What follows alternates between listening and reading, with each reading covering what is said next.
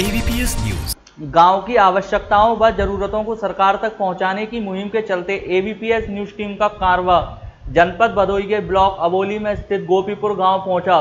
ग्रामवासियों ने शिवशंकर को अपना ग्राम प्रधान चुनकर उन्हें गाँव के विकास की ज़िम्मेदारी सौंपी है। यहाँ के प्रधान के द्वारा गाँव में विकास कार्य कराए जा रहे हैं। बात अगर शिक्षा के स्तर की करें तो गाँव की प्राइमरी पाठशाला व जूनियर हाई स्कूल में भी बच्चे शिक्षा ग्रहण करते दिखाई दिए।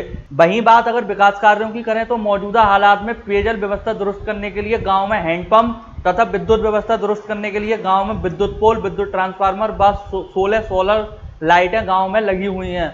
वहीं वर्तमान प्रधान द्वारा गाँव में सीसी टाइल्स रोड, खड़ंजे, पानी निकासी के लिए नाली, पुलिया चक्रोड पंचायत घर, पानी का कुआँ प्राथमिक विद्यालय में मरम्मत के साथ साथ अपनी देखरेख में स्वच्छ भारत मिशन के तहत 235 इज़्ज़त घरों व बत्तीस प्रधानमंत्री आवासों का भी निर्माण कराया गया है। वहीं एबीपीएस न्यूज़ टीम से बात करते हुए ग्राम प्रधान ने गाँव में आंगनबाड़ी केंद्र, स्वास्थ्य केंद्र, पानी का कुआँ, खड़ंजे, पानी निकासी के लिए नाला सीसी टाइल्स रोड स्वच्छ भारत मिशन के तहत सत्तर इज़्ज़त घर व प्रधानमंत्री आवास योजना के तहत आवासों के निर्माण की मांग राज्य व केंद्र सरकार से की है।